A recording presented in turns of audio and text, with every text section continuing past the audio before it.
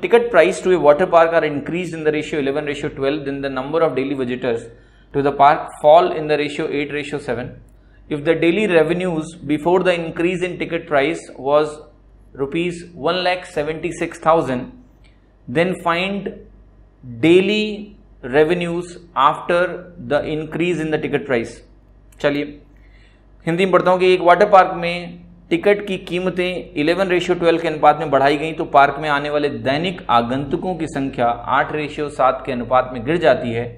यह टिकट की कीमत में वृद्धि करने से पहले दैनिक राजस्व दैनिक राजस्व एक लाख छिहत्तर हज़ार रुपये था तो टिकट की कीमत में वृद्धि करने के बाद प्राप्त हुआ दैनिक राजस्व ज्ञात करें। तो पहले मैं बताता हूँ नॉर्मल तरीका, जिसको बोलते हैं ट्रेडिशनल तरीका, फिर आपको मिलेगा रेमो मंत्रा। रैमो मंत्रा का मतलब होता है क्वेश्चन देखा और आंसर लगाया। ऐसा करोगे आप, समझाऊँगा कैसे? मैंने क्वेश्चन को जैसे ही पढ़ा, मुझे आंसर पता लग गया क्या है। तो वो भी बताऊँगा ट्रेडिशनल बता देता हूँ। देखो, ये है इलेवन ये है ट्वेल्व इलेवन से ये ट्वेल्व हो गया, और यहाँ पर ये था आगंतुकों की संख्या एट थी और सेवन थी। भाई, इन्हीं का प्रोडक्ट तो रेवेन्यू को करस्पॉन्ड करेगा। ये है आपके टिकट प्राइस ये आपका है आगंतुकों की संख्या। इनका प्रोडक्ट देता है राजस्व। यहाँ पर ये 88 है सर और यहाँ पर ये वैल्यू कितनी आ रही है? 84 यहाँ पर आप देखो क्या हो रहा है, यहाँ पर डिक्रीज हो रहा है फोर का। अब आप कहोगे कि ओरिजिनल जो राजस्व था, वो क्या दिया हुआ था? 88 88 करस्पॉन्ड कर रहा था a one lakh seventy six thousand को। देखो, इसके साथ पता है डिक्रीज हो रहा है डिक्रीज होते ही मुझे मालूम है कि ये आंसर नहीं होगा, ये आंसर नहीं होगा। अरे भाई, कम हो रहा है ना। अब कम हो रहा है तो पहला और तीसरा आंसर तो नहीं हो सकता है, ठीक है? अब यहाँ पर देखो, ये one lakh seventy six thousand हो गया। अब मुझे क्या करना है? फोर पार्ट निकाल के माइनस कर देना है। फोर पार्ट इसका कैलकुलेट करने जाओ ठीक है? तो आप कहोगे एट्टी एट पार्ट मुझे मालूम है। फोर पार्ट निकाला है, मुझे ट्वेंटी टू से डिवाइड करना पड़ेगा। अगर मैं इसको ट्वेंटी टू से दोनों साइड डिवाइड करूँ फोर पार्ट आ जाएगा ना? ट्वेंटी टू से आपने डिवाइड किया तो कितना आ गया? एट थाउज़ेंड इसमें से एट थाउज़ेंड माइनस कर दो। तो वैल्यू कितनी आ गई? One lakh sixty eight thousand कोई तकलीफ़ नहीं मुझे इस मेथड से बट समय की बर्बादी है। क्यों बर्बादी है? जरा समझो। ये देखो क्या हुआ यहाँ पर कि आपको इतना बस दिमाग में सोचना है कि कैसे मिलेगा डेली रेवेन्यू दैनिक राजस्व।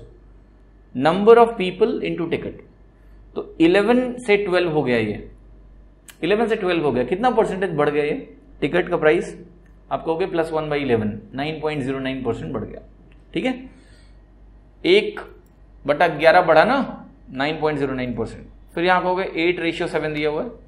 ये कम हुआ। कितना? माइनस वन बाई एट एक कम हुआ एट पे। ये कितना होता है? ट्वेल्व पॉइंट फाइव परसेंट ठीक है? अब आप मुझे बता दो कि nine point zero nine percent तो टिकट का प्राइस बढ़ा है और बारह दशमलव पाँच परसेंट आपके लोग गिर गए। ठीक है? ये नेट डिक्रीज देगा या इंक्रीज देगा? सक्सेसिवली आप कहोगे, सर, अगर दस बढ़ा के दस कम कर देते ना तो भी डिक्रीज आता। यहाँ तो नौ बढ़ा के बारह कम कर रहे हो आप। ठीक है? प्लस टेन और माइनस टेन का रिज़ल्ट क्या होता है? डिक्रीज होता है। कोई भी परसेंटेज जिससे बढ़ा रहे हो, उसी से कम कर दोगे डिक्रीज होगा। नेट तो नेट डिक्रीज होगा। लेकिन सर आप मुझे बताओ, वो डिक्रीज कितना हो सकता है? या देख के लग रहा है कि ये परसेंटेज काफ़ी आसपास है तो बहुत ज़्यादा डिक्रीज नहीं होने वाला है। कुछ होगा, एक परसेंट दो परसेंट बस, इतना काफ़ी है। तो छोटा मोटा अमाउंट ही कम होने वाला है है ना?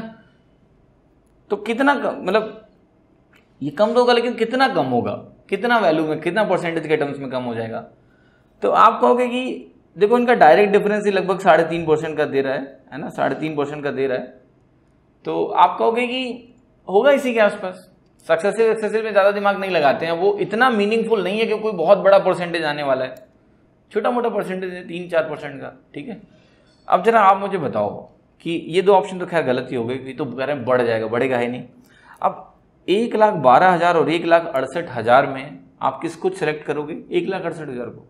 क्योंकि वो एक लाख छिहत्तर हज़ार के पास में एक लाख बारह हज़ार पे चले गए तो आप करो कि वो लगभग कितना कम हो गया?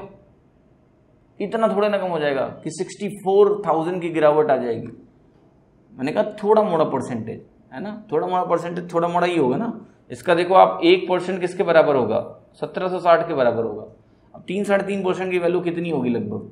है ना? आप निकाल लो खुद ही छः सात हज़ार रुपये लगभग अप्रॉक्सीमेटली क्योंकि एग्जैक्ट चेंज नहीं है सक्सेसिव में थोड़ा बहुत और चेंज आता है। तो मैं ये कह रहा हूँ कि इतना आसान है चीज़ों को सोचना तो आप मुझसे ये बोलोगे तो मैं ऐसे करूँगा। आप मुझसे पूछते हो, सर, किताब बता दो, कौन सी पढ़े? सर, मैं क्यों नहीं बताता हूँ? क्योंकि ये चीज़ें किताब में नहीं दी हुई हैं। अगर इस तरह से किसी किताब ने समझाया हो तो तुरंत वो किताब खरीद लो। बस ये ध्यान रखना कि वो किताब मेरा वीडियो देखे जाने के बाद ना लिखी गई हो। ठीक है? तो बस